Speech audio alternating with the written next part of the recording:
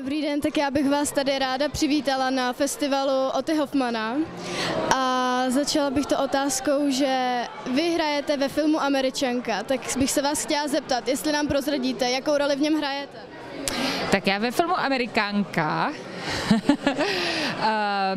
moc nehraju, máme tam s Terezou Ramba jenom takový cameo, takový krátký vstup, nicméně my hrajeme Amerikánku um, tu původní vlastně verzi na divadle na Jatkách, v Praze na Jatkách 78 a uh, takže s tím filmem a s příběhem jsme samozřejmě prostě propojení, protože ho známe Eh, od, od úplného zrodu, takže film Amerikanka eh, podporujeme, protože je to eh, stále ten stejný příběh Emmy Černý v jiném podání.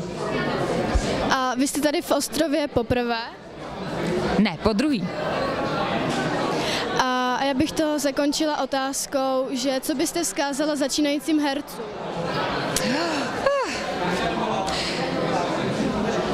začínajícím hercům nebo, nebo, nebo uh, mladým lidem, kteří se chtějí stát herci? Mladým lidem, kteří se Je to těžší, než si myslíte?